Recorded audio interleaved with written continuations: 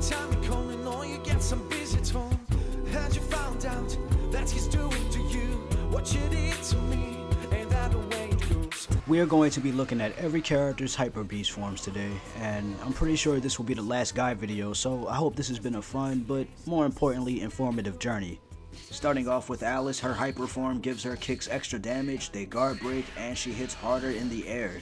Moving on to Bakuryu, he does more chip damage and his normals are cancelable. Busuzima's makes him invisible, all of his normals and special slash beast attacks are cancelable as well. Cronos' hyper form is his phoenix form, all of his attacks are cancelable and the startup of each of his attacks are reduced by one frame. Gado's attacks become guard breaks and all of his normals can be cancelled into his special attacks. Ganesha has super armor, light guard is always active and can block guard break attacks, and his normal and special attacks are cancelable.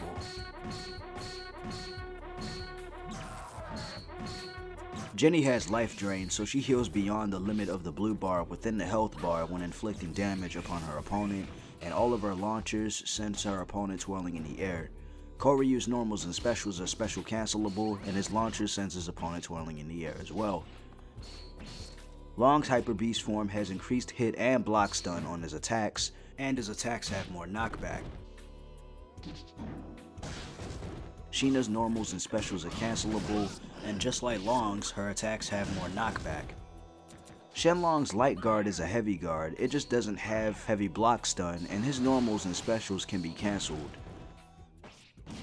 Stun speeds up in movement, his attacks have less startup by one frame, and his light guard is a heavy guard just without the heavy block stun like Shenlong's. Uriko's Hyper Beast ignores the opponent's beast form's increase in defense, so her attacks are still a threat, and her lows and mids have more knockback. Yugo and Fang's Hyper Beast forms have more hit stun and block stun on their attacks, and all of their normals can be cancelled. Xion's attacks hit twice.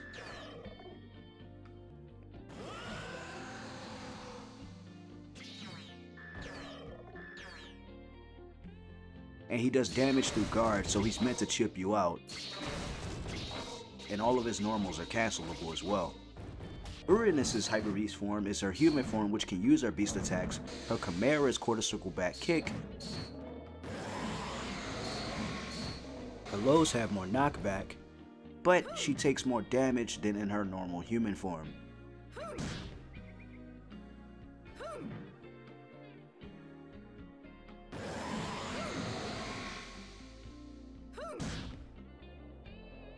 흥!